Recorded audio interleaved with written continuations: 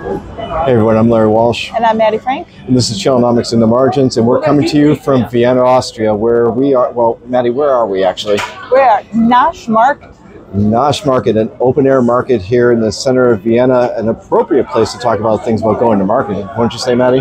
Absolutely. There's so many different sellers here, places to buy things, different goods, that it's the perfect location. Yeah, I think we have sampled more meats and cheeses over the past hour than I care to admit, don't you? I'll admit it. Anyways, Maddie and I have been here in uh, Austria all week.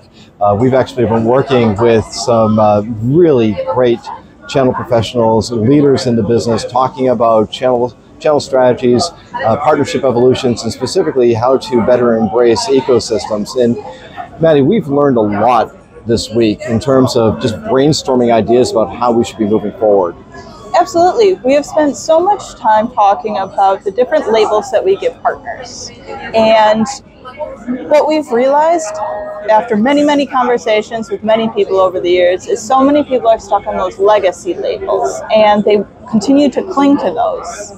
And what types of partners those those partners fall into. Yeah, so you know, it's a natural tendency of vendors when they're structuring their channel programs to try to put into buckets or into different types of columns partners that they think look alike to them. So whether they're resellers or integrators or managed service providers, or now you know more thinking about hyperscalers, you know, there's a, a need to do this because it helps them organize and prioritize and keep structure.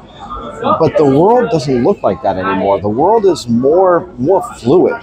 You know, the average partner today isn't just a reseller. It's also a service provider. It's also an integrator.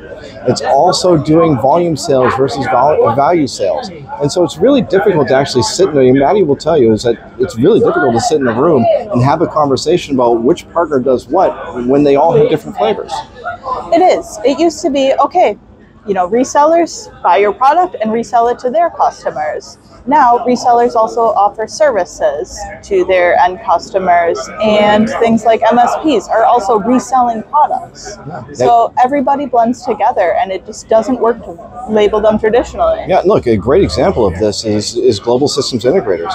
These companies never wanted to have product on their books, yet they are now reselling because they need to keep their top lines up, and they're developing services because they also need to have the same flywheel recurring revenue that a lot of the vendors and service providers are seeking. So, I mean, this is all a very blended ecosystem now. And yes, the partners will do things that are specific to what their models are, what their customer needs are, which makes their specializations, whether it's a technical specialization or a vertical specialization, even more important.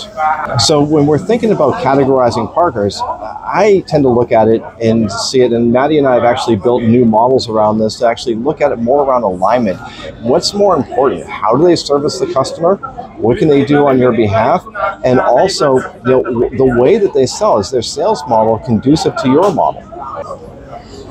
Yeah, so we really have to look at partners and what they do, and not just what those what traditional bucket they fall into, which makes it easier for vendors to categorize because it's easier. It, you really have to dig deep into what they do and where they fit in the new models. That's right. And just remember something is that it doesn't matter whether they're a reseller, an integrator, an ISV, a GSI, they all fall into the same it's the same basic sales models. They're either selling to, selling through, selling with, or they're influencing. It's as simple as that. But look, that's all the time we have for this edition of In the Margins. Coming to you again from Vienna, Austria. Maddie and I are going to go back to sampling all the great food here in the where are we again? Nosh Market. Nosh Market. Until next time, you know, please keep you know, keep checking out in the margins. Hit like, hit subscribe, tell your friends about it. Check out all the great content we have at channelnomics.com and also check out our other podcasts, Changing Channels and the Network Effect. Until next time, I'm Larry Walsh. And I'm Maddie Frank.